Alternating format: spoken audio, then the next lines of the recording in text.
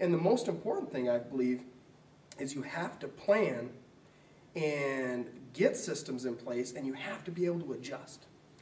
And because it happens, it, no, no matter what you do in business, I, I don't, I have yet to know of a business that goes down the original course. I mean, as long as you stay focused on your goal and are able to adjust and avoid obstacles, and, and persevere. I, I um, there's a, I, I read something the other day, and it, it said, persistent knocking opens doors successfully. I love that. Yeah, that's great. So, Very good. Now, now, speaking of business, tell us about Kid Command. What, what is Kid Command and, and how did it come about? What's the purpose of it? What's your passion? I know you mentioned passion, mhm. and I know you're both very passionate about Kid Command. So, so let's hear what you have to say about your business and your venture. Well, I guess Vishal and I are very passionate about designing and building and making a product that is it's safe for kids. It's good for kids. There's wholesome material in there. There's fun content in there. Um, you, know, we don't try to tell kids, oh, this is this is right, this is wrong. Um, we don't have games chocked full of materialism and where they're playing games to earn money to buy something. Um, we have simple games that kids play. Um, and this, this, I know this is probably a, a concept that is just a terrible concept, but they play games to earn stuff, to earn, to earn maybe a shirt or earn climbing shoes to make it through another region. We're very passionate about teaching kids about um, our earth and, and what's going on in it. We're not saying clear cutting's bad, because, you know, we need paper. Yeah. But we put the, we put the material out there in a way that, hey, this is what's happening. Play these games and learn about it and make up your own minds. You know, Great. And I, I think that our vision, um, everybody in our company has aligned themselves with that vision of, of making the internet a, a, a better place for kids and a fun place. You know, most people in our company, they're either parents or expecting to be parents.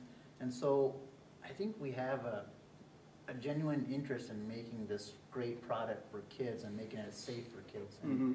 I, you know, I think we all wholeheartedly believe it's not just something we say we're doing, you know, we actually believe in it. And on that subject, Vishal's an expecting parent, Yeah. so. We're excited about that. We'll, Yeah. We're waiting that news. And That I is think cool. That, that is super cool. And I think it's just great that so many of you are committed to really Mm-hmm. making something a, a positive business that really Mhm. influences our society in a very positive way.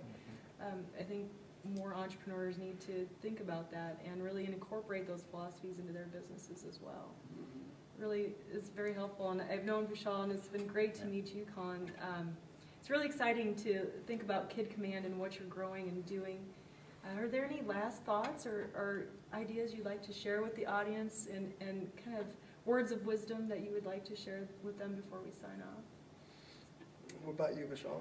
Well, um, I guess all I would say is, um, well, one of the things that, you know, I think we learned in this whole process is that, um, you know, the old saying where you, um, if you want to do something right, you, you have to do it yourself.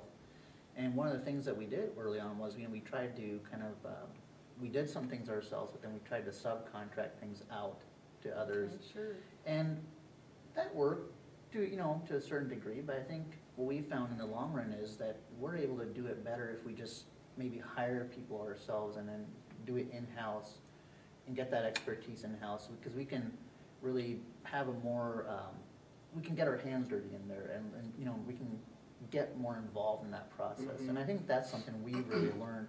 Yeah, that's been an great important lesson for us. Mhm. And I would recommend that to others also who are gonna be doing, you know, whatever their entrepreneurial project is. Mhm. Um, Really try to take a central role in it and really, um, try to get more of those things in-house rather than trying to subcontract out as much as possible. And I, and I, I think too, one thing we've learned is, you know, a lot of people, when, when they come up with an idea or something, and they kind of worry about how it'll be perceived, or worry about how people will even perceive them.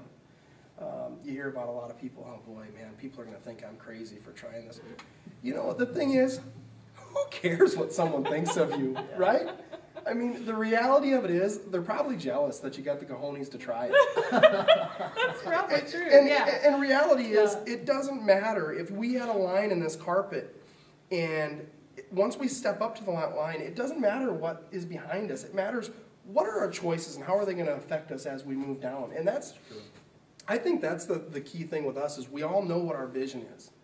And uh, we, we have, I think we've done such a great job, our company, um, our team, like I said, I honestly believe that with the team of people we have, any one of us could be gone for a day, the system still work, and literally, we could walk in tomorrow and say, look, we want to start an apple orchard and compete, and uh, compete with Kimball, we've got the team, they'll do it. You know, careful. Yeah, right. But if we wanted to sell hot dogs, for instance, right, we couldn't compete with Kimball's. it's supposed to be nice. But I'm saying we we've got the team and and they've got the desire and the work together, and we've got.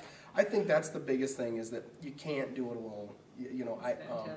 I, I heard a man speak one time, and uh, he he said that your network is your network. I believe in it. Use your network, use it to its fullest extent, and, and pick their brains, learn, and then make decisions after learning. You can't say, "Oh man, I wish I'd have done that," and dwell on it. It doesn't matter. Nobody cares.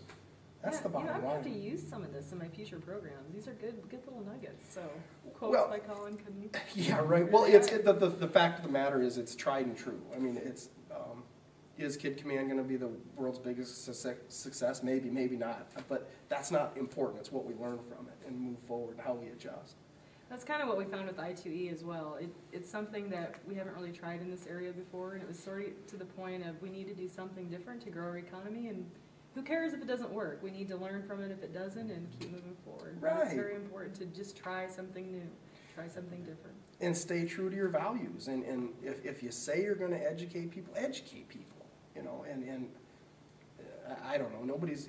I, I, no, I don't think we're out there to reinvent the wheel. We just we saw a need, and uh, like everybody else, you always think, oh, somebody should do this or they oughta. Well, he's the they and I'm the someone.